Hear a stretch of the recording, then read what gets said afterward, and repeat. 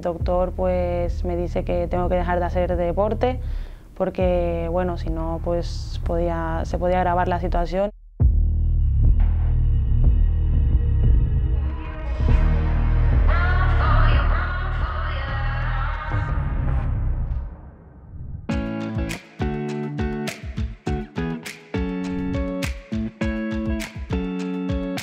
Lo empecé a usar cuando tenía 13 años, que pasé ya a un equipo femenino y mi entrenador eh, al final todo el rato me decía María Isabel.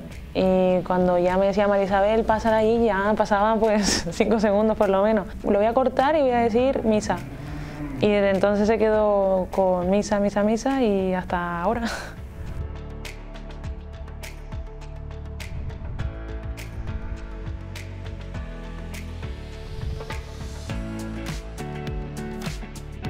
Desde pequeña, desde la época de los Galácticos, eh, he crecido toda mi vida con Cristiano Ronaldo, Kaká, Beckham, Van Nistelrooy, que era uno de mis ídolos, junto con Raúl.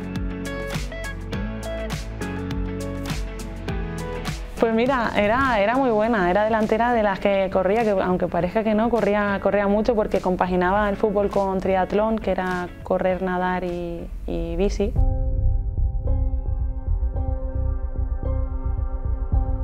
No me acuerdo con qué edad más o menos fue, si con 12, 10 eh, me empezaron a dar taquicardia, eh, que para quien no sepa se te acelera el corazón y el doctor pues me dice que tengo que dejar de hacer deporte porque bueno, si no pues podía, se podía agravar la situación y un día quedarme pues, pues ahí en el suelo y no volver a contarlo más. Entonces se decide dejar el fútbol temporalmente hasta que me operen el corazón.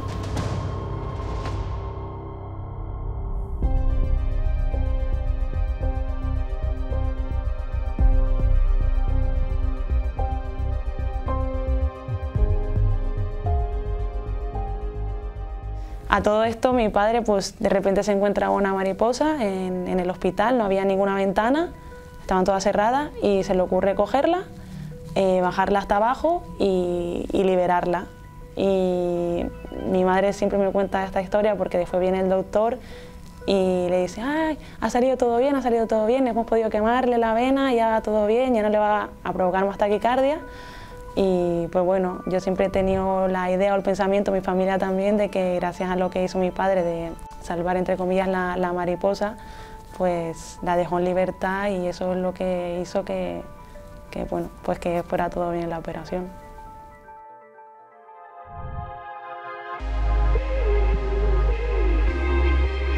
Eh, siempre he sido muy polivalente en todo, en el sentido de, yo hacía deporte, yo hacía triatlón, hacía judo, he hecho muchos deportes. Entonces, yo es que me atrevía a todo.